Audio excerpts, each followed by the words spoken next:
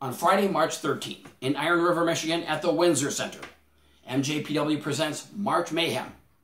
Now, at this event, MJPW is trying to steal this from me, the North American Championship, by putting me in the ring with two individuals, Cowboy James Hunter and Zach Neal, individuals that are capable of winning any championship at anywhere at any time from anyone.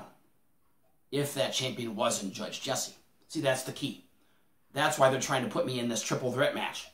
Because they know that I don't have to lose by pinfall submission to lose my championship. They could beat each other up. You know what? You backed yourself into a corner.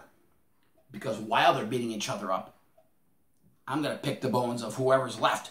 So I will still walk out victorious. So MJPW, Zach Neal, and Cowboy James Hunter. I'm Judge Jesse. And I sentence you all to an ass kicking.